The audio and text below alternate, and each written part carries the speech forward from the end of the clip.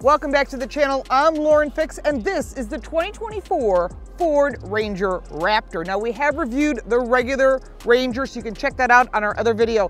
This one is exclusive to the Raptor and the Assault School. We are here at the Assault School. Where we got a chance to drive it off-road. But first I wanna show you some of the massive changes for Ranger, and this vehicle is running for North American Truck of the Year. So what's different about the Ranger Raptor? Well, there's a lot. So what they've done is they've pushed the wheels to the farthest outer corners. They put lower control arms, upper and lower control arms are now aluminum, and they're lighter, they're stronger because you got that more load on the outside corners. So what they did is they improved and strengthened the suspension. This is very exclusive to this vehicle. It's not the same as a regular Ranger. Also, you're gonna note the hood is different. It's more muscular. It has vents that are functional and you can see the function on the vents up here.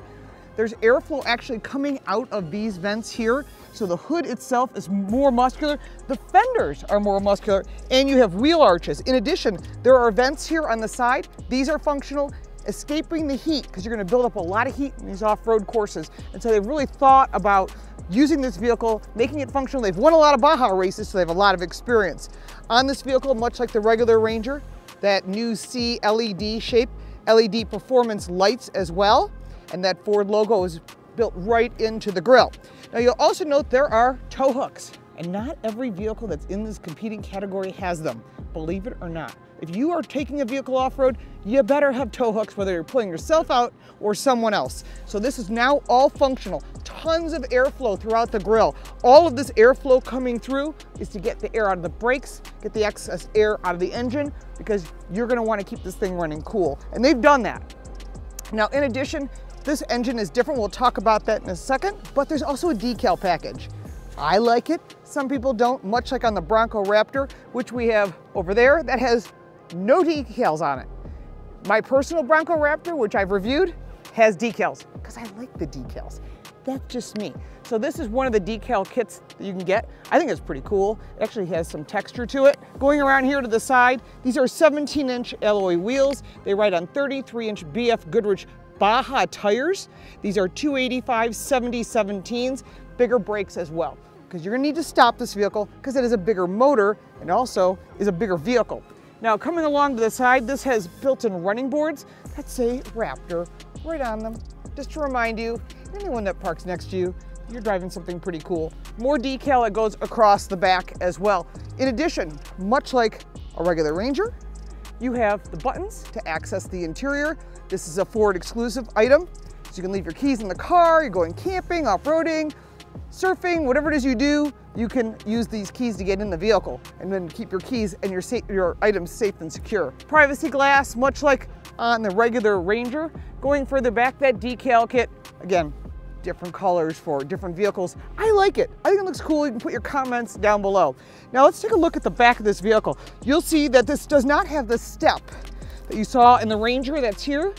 Instead, what you have is a really nice, gigantic throaty exhaust, and it is an active exhaust. So you can change it just like in any of the other Raptors. So if you want to hear that Baja noise, normal or quiet, if you want to sneak into the neighborhood, not upset your neighbors, you can change all that on the steering wheel, just like any of the other Raptors. You've also got tow hooks back here and LED taillights embossed across the back like on all the Rangers.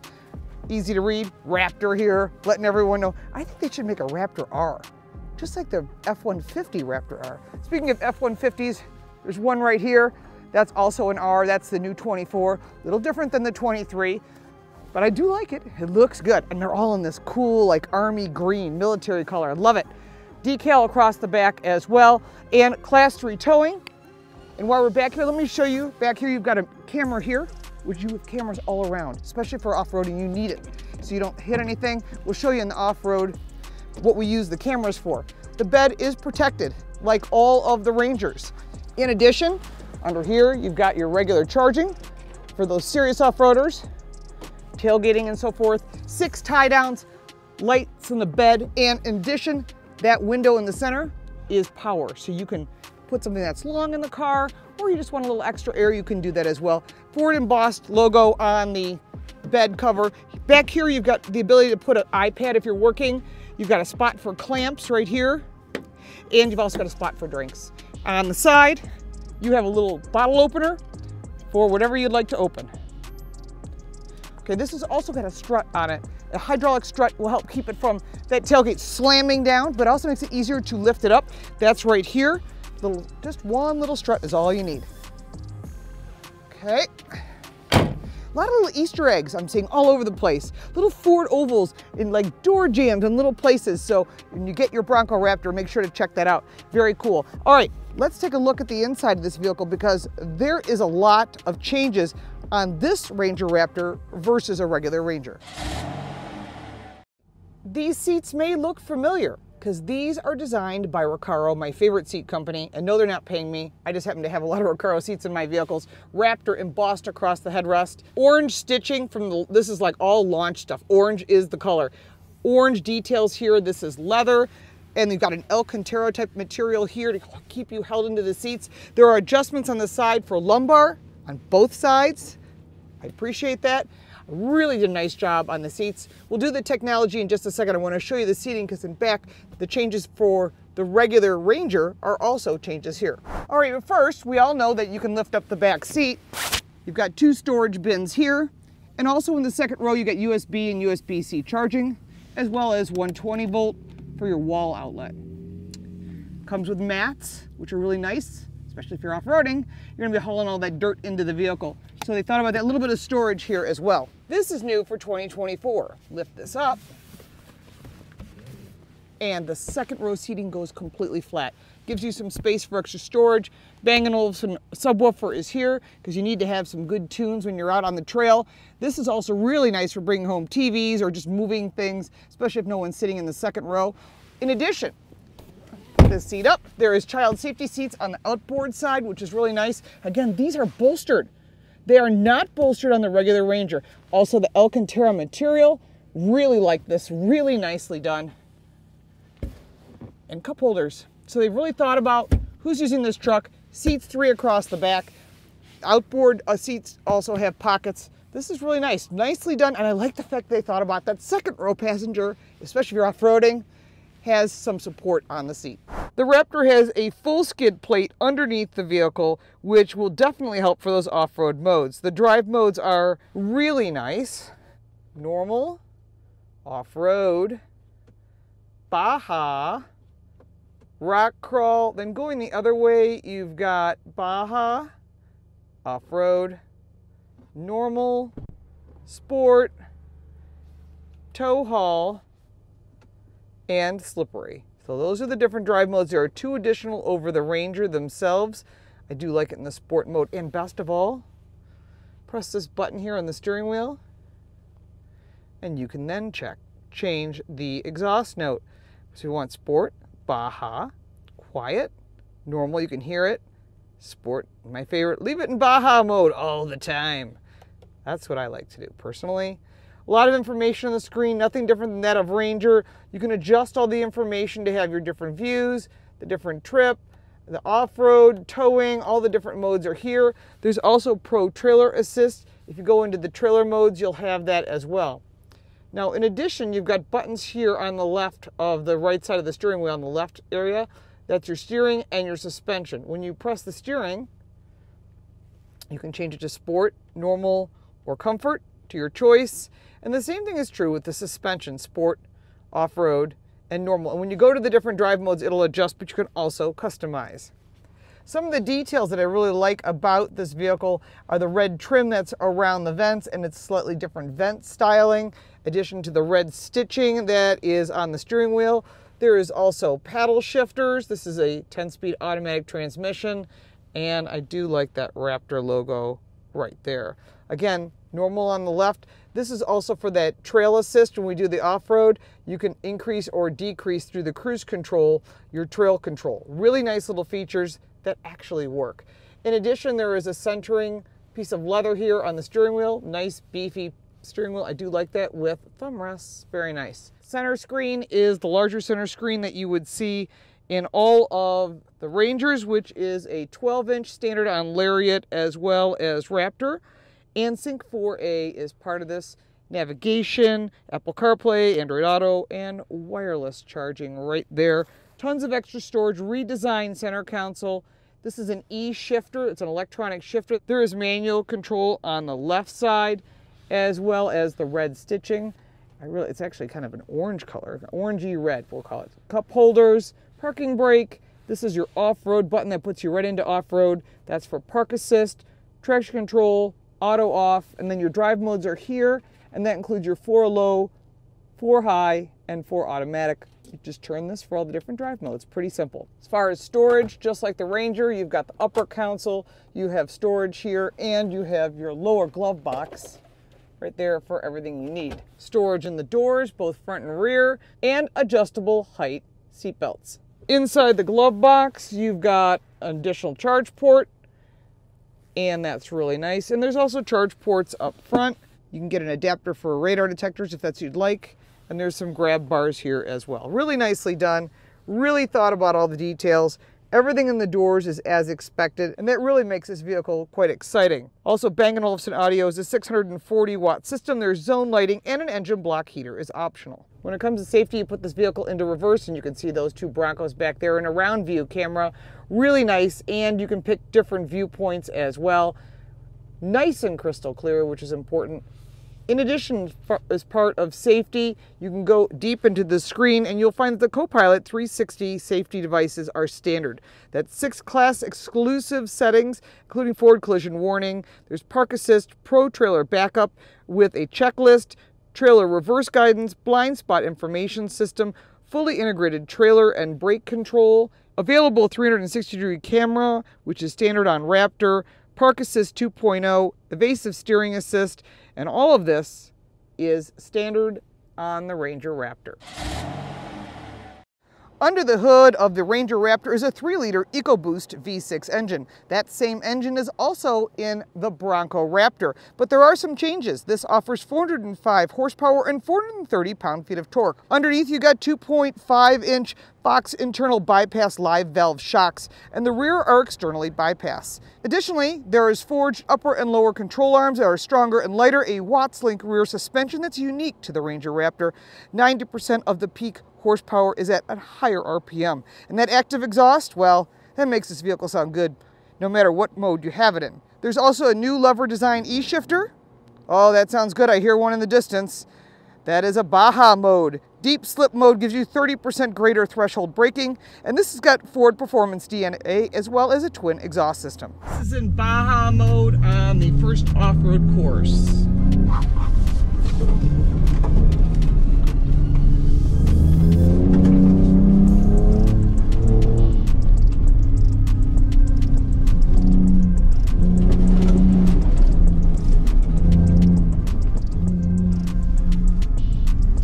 This track. It is muddy. Set up on the right.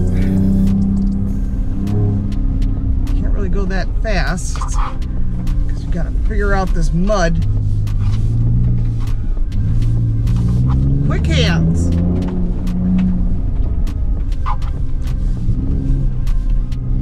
They told us quick hands, slow speed.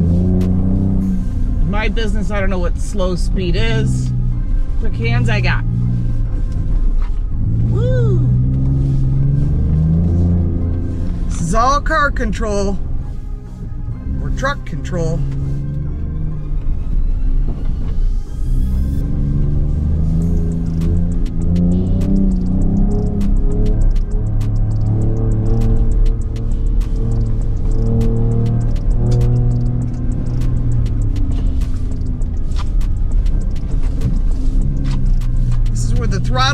Friend and the brake is not.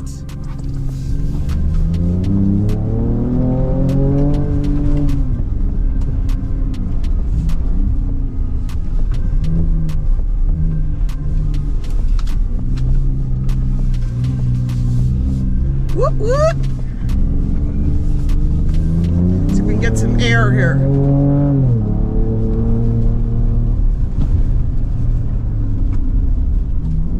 That was fun. We're gonna do this again. Okay, lap two. Here we go.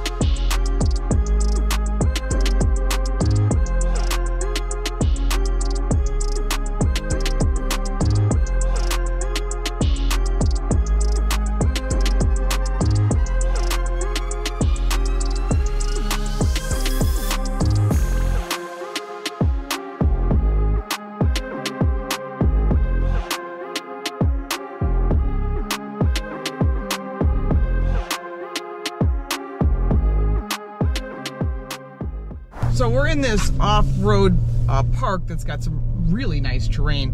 And I give Ford a lot of credit for bringing us to this park because a lot of these off-road trucks that we have, they don't really put us on a real off-road park. They kind of put us on a controlled dirt road. So Ford's really saying, we're gonna showcase what we have. So we have three and a half inch wider track, which brings us to 67 inches. We're using the Fox Live shocks and of course we got front and rear locking diffs. Right now we're in the Baja mode without the locking diffs. And you can really feel the articulation. This vehicle really is nice. Now, as an owner of a Bronco Raptor and a Raptor R, yeah, I like Fords, but I, I, think there's other great trucks out there too. So if you're into Jeeps and all that, I get it. And I'm certainly, I like the off-roading. This is not what I, I, prefer racing. But either way, this vehicle has a lot to offer. It's got the Watts Link suspension, and you can feel the articulation on this too. Really nice. Now, this is not a Bronco Raptor. The Bronco Raptor is a little bit shorter, and you're gonna lose a little bit of power uh, talking to one of the engineers about 10 pound-feet of torque, but it does have an active exhaust, so I have it in the Baja exhaust mode because it sounds the best. And you can also set it up for that R button that's on the steering wheel, so whenever you're doing off-roading, you can go right into that Raptor mode whenever you want. Now, one of the things this has is these really nice cameras that show you the tracking of where your vehicle is. And you wanna make sure that you get that right, because if you cut a tire, You'll be grateful that you have a real spare tire. But this is really nice. It's tight. It's not over the top, but I think they really designed this to be an off-road vehicle. And having a lot of experience from the Bronco and the Raptor, they put all that knowledge into this vehicle. And so much like the Off-Roadeo for the Bronco, they have an assault school. So if you purchase a Ranger Raptor, you will get a free school, but right now this one is in Salt Lake. Really great pathways. You've got rocks, we've got mud, we've got dirt uh, going uphill, downhill, through trees, all kinds of terrain. And so we're using all the different drive modes. And obviously this has different drive modes than the regular Ranger. If you're looking at a regular Ranger, it does have off-road capability. You would want to buy the FX4. Um, and that would be for a lighter off-road, but so very capable. And you can check that out on our channel because that review just posted uh, two days ago. So you can also check that out. In Baja mode, you have a deep slip mode essentially. So you get 30% better uh, threshold braking. If you're a racer, you know what threshold braking is. That's just before lockup. So it allows you to manipulate the brakes or you can use the trail control, which we're using now. We try to do both so we can kind of see its capabilities. I, I'm liking the fact that you can adjust everything just like a Bronco Raptor, just like a regular Raptor. All that technology, all that DNA from Ford Performance is in this vehicle. The towing capacity for the Ranger Raptor is slightly less than that of a regular Ranger. Regular Ranger is 7,500 pounds, but because there is no leaf springs and there are coil springs, and the suspension is different because we have all that Fox suspension underneath, which is great for off-roading, it reduces the towing capacity down to 5,500 pounds. Payload is still 1,805 pounds for the bed. In addition, you've got plenty of storage and connections for that class 3 and there's also wire connections for the trailer brakes if you need them. But most of these people that are driving these are maybe hauling something small and light so that may work for you. Now there are a lot of competitors in this category. You've got the GMC AT4X, you've got the Colorado ZR2, the Gladiator Mojave, and the Tacoma TRD Pro, which is their main competitor, and it's also running for North American Truck of the Year. So it's going to be a very interesting year as all these trucks compete, midsize and full size, for the award because it's very important to the manufacturers. Now let's talk about pricing. Prices start at $57,000. By the time you're watching this, they're going to start being delivered to dealers. So if you want a Ranger Raptor, that is something you definitely want to start building. In addition, what you get is a free assault school. So you come here to Salt Lake City, you will drive off-road like we just did, not just on-road, but you'll have the opportunity to jump the truck, which we did, it was so much fun, drive on a Baja course, learn how to drive this vehicle and learn its capabilities. So you'll be a better driver for this car. And one of the things that none of the other manufacturers are surprisingly not offering. I'm surprised that Tacoma doesn't offer some sort of Tacoma school. Maybe they will in the near future. In the meantime, that comes out of your pocket. So look at your total costs. This school is worthwhile, and you get to drive their trucks and abuse them rather than your own. I think that's a massive plus. Now, if you have any additional questions when it comes to the 2024 Ranger Raptor, put them down below to start the conversation. Did you order one? I own a Bronco Raptor. I kind of love my Bronco, but if you have one or one of the other Raptor product lines, put that down below. And I did mention to Ford, wouldn't it be cool to have like a Maverick Raptor? Maybe that'll be coming in the future. That's just me talking. There's no rumor there at all. If you'd like to support our channel, you can buy me a cup of coffee. The link for that is down below, or just stay a couple seconds longer and we'll give you another way to save some money. You can find all our social media, the book, the podcast, and everything down below in the description, as well as more details and links to all the competitors so you can do all your homework in one place. If you got value from this video, make sure to like and subscribe for more like this one. I'm Lauren Fix here in the middle of Salt Lake City, Utah. Thanks so much for watching. Have you ever thought, why in the world is my wireless bill so darn high? What are we paying all this money for? Speed, coverage, data, access to 5G, unlimited talk and text, mobile hotspots? We are partnering with Mint Mobile. Mint Mobile offers all of these features for as low as $15 per month. They're reimagining the wireless shopping experience and made it easy and online. No stores, no salespeople, just huge direct to you savings. Why should you pay more when you have access to premium wireless? Mint Mobile runs on the nation's largest 5G network. Whether you use your phone to watch YouTube, listen to podcasts, or play games, you get the same speed and performance as the big guys while connecting to Mint's network.